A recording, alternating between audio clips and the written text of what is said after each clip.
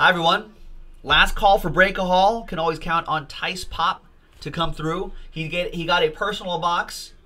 2018 Topps Heritage Baseball. He leaves one personal box from that case that we popped open.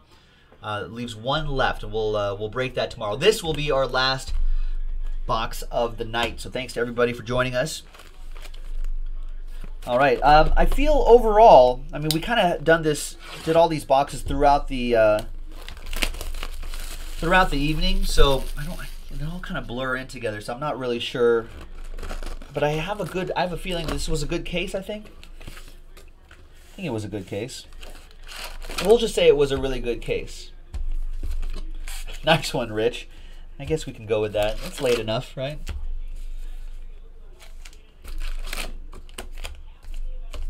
But I can't repeat that, Rich, because the kids watch, then then they're gonna ask their parents what it, what that means, and then, you know, then I get angry phone calls. We thought it was a family friendly show. Well, sir, it's technically TV 14 if you want to think about it that way. Now my kids are asking about what what an Ohtani face is, and they'll be like, "Oh, then you want to explain my kids that?" Like, "Oh boy, I don't want to explain it here." So it's fine for the chat, though. Fine for the chat. But I can't be saying things like, you know, Rich Schmidt wants to see Joe's Ohtani face. Can I say that? No. I'll get in trouble, Rich. Family show. PG 13, I would like to caution. But I think I think people rely on Jaspy's Hobbyland to be to be professional and classy. So I can't say things like that, Rich. Topps watches. Imagine if the people at Topps are watching. They're like, come on, Joe.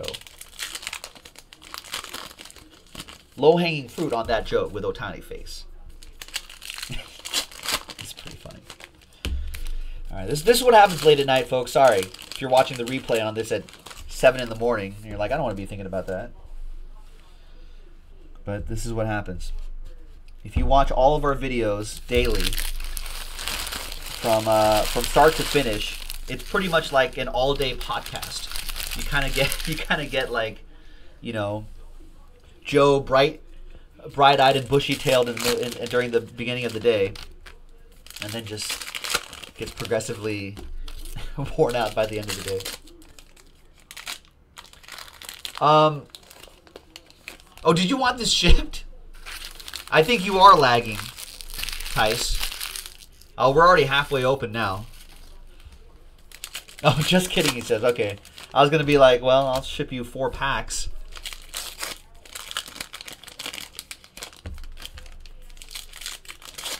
I was going to be like, too late now, sir. I'm surprised I'm surprised that actually actually speaking of that, I'm surprised that nobody wanted to buy a box sealed. Because because I think I think the price of this has gone up already. So at, at a certain point, you can hold on to it. And you could probably flip it for a little bit more than what we're selling it for. Not by much, but you know, you don't want you don't want that person telling you, "Hey, thanks for the thanks for that box. I pulled an Ohtani autograph out of there." Then you'd be sick to your stomach. You have to open it. Whether you have me do it or whether you do it yourself. it's all good, Ty. I was gonna say sorry. I was gonna say tough luck. It's already, we're already three quarters of the way through. All right, good luck, Tice. Thanks for grabbing this box. Tice, always good for good for last call.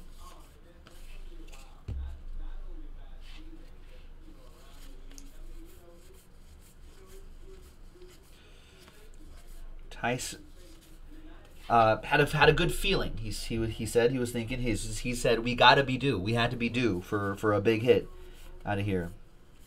So let's see if we can do that. Stare intently at these cards so I don't feel like I don't want to miss a short print or something. The hits are either a relic or an autograph. Autograph's not common in these things. There's Matt Carpenter, so they're usually relics. There you go. Matt Carpenter, son of a carpenter. Cardinals. Out of 9.99 for Tice in his personal box.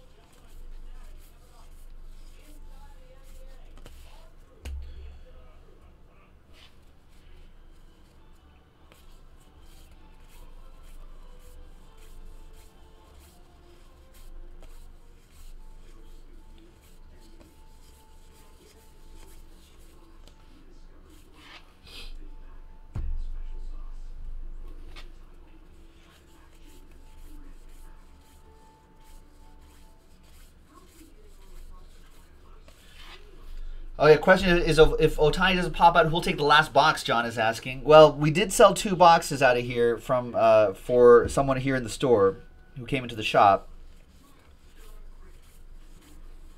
Oh, an autograph! Wow, that's a nice one. Francisco Mejia, Tice. We were actually discussing who would the big rookie names would be this season. I forgot about this guy. I think he's supposed to be the guy, the catcher for the Indians this season. You know, I think he's supposed to be the big the big rookie name. This is a re- actually very nice hit.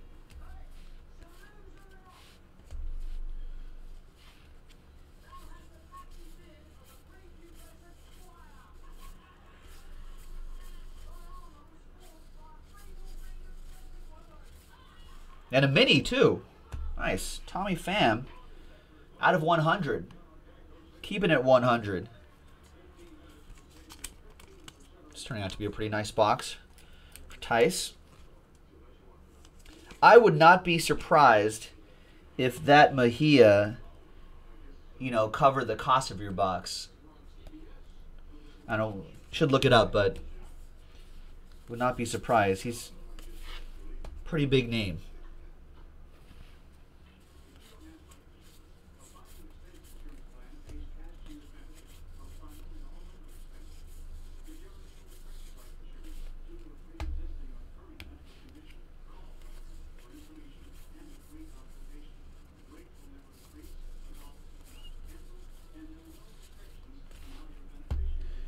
Let's see. I don't know, maybe. Check. But I know he's I know he's one of the more popular popular rookies, from what I understand. But double check that autograph. Or if someone knows, let me know before this video ends. Which is gonna end soon. But it wouldn't surprise me though.